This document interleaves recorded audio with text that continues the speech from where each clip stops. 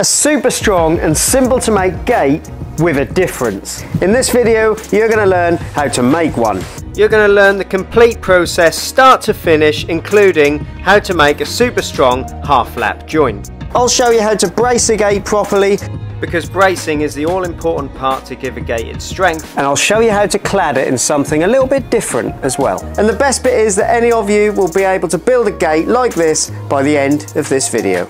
So my gate needs to fit between the edge of the house and this brick wall here. So I'll fix a tantalysed 3x2 to each side, one for the hinge, one for the latch. We'll fix that to each wall and that'll give me a frame to work with. Now once I've decided the height that I want the frame to be, I measure that, mark it on a piece of timber and cut the piece of timber to length. Now I'm going to fix this in place. I've got my 3x2 clamped in place. I've made sure it's nice and plumb. The wall, not so much. Now I just drill some 6mm holes along the length of my pieces of timber. I'm using these DeWalt anchors, they're great because you don't need a plug or a washer because they've got a flanged head on them and you can just drive them home. And once they're in they're super strong. So we've got a bit of a frame now. We've got a bit of timber there that our gate can hinge on and a piece here that our gate can close against. So now I'll show you how I build a gate to fit this opening. And the first thing I'm going to do is take a measurement of the opening so that I know what size to make the gate. So the opening is 940 millimeters but I'm going to make my gate 920 millimeters so that I've got a 10 mil gap either side of the gate. And I want my gate to be 100 mil shorter than the frame. I'm going to be using these 3x2s. They're tantalysed. You don't need to go mad on timber size. It's more important how you brace and construct the gate than having massive timbers. I'll show you a little bit more about bracing very shortly. But what we'll do now is start cutting some of these timbers to length so that we can construct this gate. Now because we're going to be using half lap joints we can cut our timbers to the actual size that we need. So that's 1800 for the height. Now we'll mark that for the two stiles. The stiles are the, the tall pieces of timber for the sides of the door and we know the width of the door needs to be 920 and we'll need three bits of timber at 920 You'll see why shortly. Now we're going to cut our bits of timber to length. If you've got a miter saw, brilliant, use it. If not, use your circular saw or whatever you've got.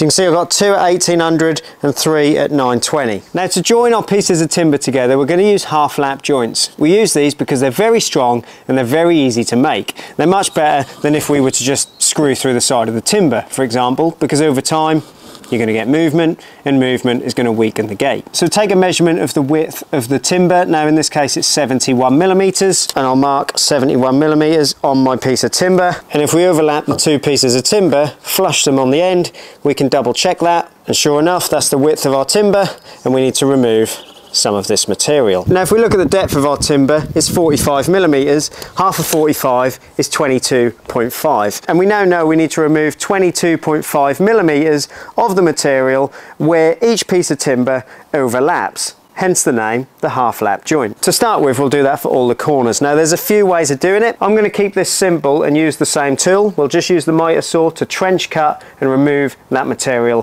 for each piece of timber. I'm using the depth adjustment to set the saw to cut 22 millimeters. I've clamped another piece of timber here to pack this piece of timber out a bit so that my saw blade will fall right in the middle of that piece of timber. Now this saw's got a shadow line rather than a laser, not sure if you can see it there. But now I can make a series of trench cuts across this piece of timber. The trick to this is to keep all of those cuts nice and close together and then we can use a hammer to remove the material. You can see I hit the majority of that away with the hammer and now I can use a nice sharp chisel to remove the rest of that material. Now whilst there's many ways to do a half lap joint, this is by far the simplest. So repeat that for the rest of the timbers. So I'm just dummying the gate up now, just adjoining my stile with my cross members here. But there's one more cross member, you'll notice, that we cut, that third one, which also needs a half lap joint. Now I like to use a half lap joint for my cross member because quite simply it's stronger. And when I show you how we do the braces in a little while, you're going to see why we need all the strength we can get on the cross member. We can now assemble the gate. Now I'll start with my cross member here in the middle. Should be a nice tight snug fit. To assemble your half lap joint, you're going to want some exterior grade glue. This Gorilla Glue is interior and exterior, so that's fine. And you'll want some screws. For this size timber, 40 millimeter is perfect. You want to put plenty of glue on the joint. I like to do that on both sides. Pop that joint together, and then I'll just dummy up the other two by dummying those up it just gives me a little bit of assurance that everything's somewhat square and I can start by fixing this joint in place. Don't go too near the edge because you don't want to split it and that will be an absolutely solid half lap joint. Repeat that for all four corners. And now I just take off any excess glue. So the frame's not quite finished yet. We've still got to do our brace, but we do need to check to see how square it is so that we can adjust it if necessary. And if I bring you around here, you can see it's already very good. So not much adjustment to do. So I think what we'll do now is get some braces cut. And the braces are often the bit that people get very confused with. So I want to show you how to properly cross brace a gate so that it doesn't sag on the floor or bind on the frame a few weeks down the line. Now the most important part of any gate structure is the bracing. It's not the sizes of the timber that give it its strength, but the braces and their position that stop it from sagging and dragging along the floor. So here is our gate, and here are the hinges for the gate. You can see the center brace there. Now gravity dictates that our gate will sag along this edge here. So to correctly brace a gate, we need a brace here and a brace here. As this side of the gate tries to drop, the load will be transferred onto these pieces of timber here. If we did it the wrong way and put our braces here like this, as the latch side of the gate drops, the distance between this point and this point would become greater and this brace that we put in would do absolutely nothing because this gap would become bigger. So to keep it really simple, the lowest point of the brace should always be on the hinge side of the gate. I've put a centre line across my piece of timber that I'm using for my cross brace and then I'll position that into the corners where I can mark to make my cuts. Now if your gate is somewhat square, it should be a 45 degree cut.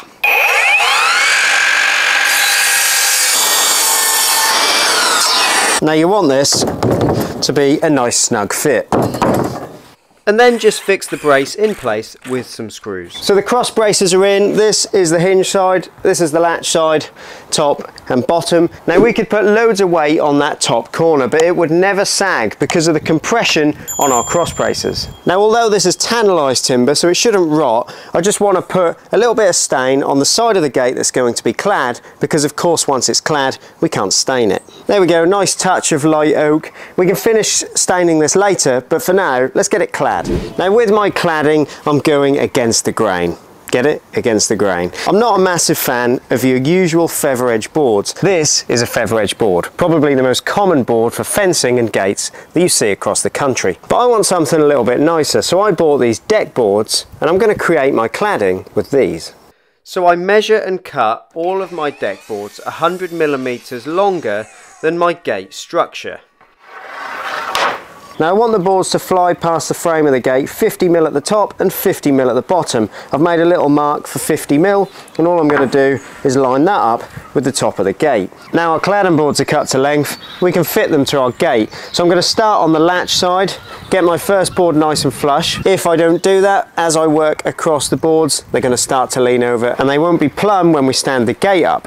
Now it really is as simple as just screwing those cladding boards to the frame of the gate and make sure that you also screw diagonally across the gate so that you're catching the brace behind. It's fully clad and it's really starting to come together. Now before I hang this thing, I'm going to stain both sides of it. It's a light oak colour and it looks really effective, but you can go with whatever colour you want. The most important thing though is that you get plenty of stain into any cut ends so that we retreat those pieces of timber. Guys, if you're enjoying this video, hit subscribe because you don't want to miss future videos and hit like because that helps this video reach and help more people like you on YouTube. Now I've lifted the gate in place and you can see that what I've done by creating that 50 mil gap at the top and 50 mil gap at the bottom, what we've got is a perfect finish at the top. So our post here finishes in line with the cladding. You can see that on both sides. I've sat the gate on two offcuts of cladding. Just find yourself something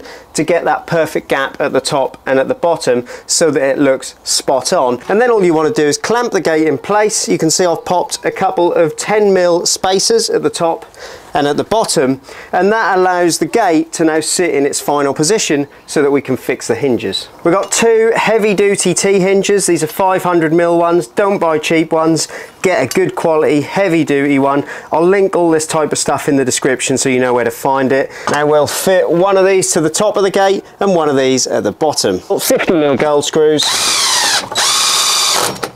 and that's it. And now we can take our clamps off and the gate shouldn't go anywhere. Right, so we're going with the typical ring gate latch. Now this is a Gatemate. Again, it's a good high quality one. If you buy the cheap stuff, one good gust of wind, gate slams, bends your latch. So make sure you get a good one. It's not sponsored, they're just the ones I normally use. They come with instructions, they're really easy to fit.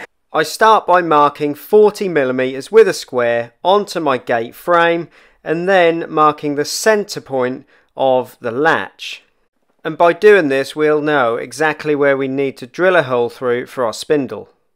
Now you need to pass either an auger bit or a spade bit through the gate. This one's 16 millimeters. Now pop the spindle into one side of the handle, pass it through the gate and we can just screw the handle in place on both sides. Once you've centered the bar, screw that in its final position. You can then place the retainer over the bar and we're going to screw that in place as well. And now find the level of your bar and then all we've got to do is screw the latch to the frame. You can see I've also fitted a gate spring and a cabin hook so that the gate doesn't keep slamming because that would be really annoying and with the wind coming down a side alley like this that often means that gates slam. So if your gate's on a side alley fit a cabin hook and a gate spring that just stops that wind from taking the gate. And you can see our gate opens and closes perfectly. Now as an optional step to finish this off, you could fit a doorstop for the gate to close into. However, I'm not going to do that because I like the finish how it is. It's flush, it looks perfect, so I'm going to go with it like this and I'm not too worried about the little gap at the side of the gate there. But if you want complete privacy, go with a doorstop. And that completes our garden gate. It looks brilliant, it's strong, and any of you can make it at home, so give it a go. If you've enjoyed this video, hit one of these because you're bound to like them as well, and I'll see you guys in the next one.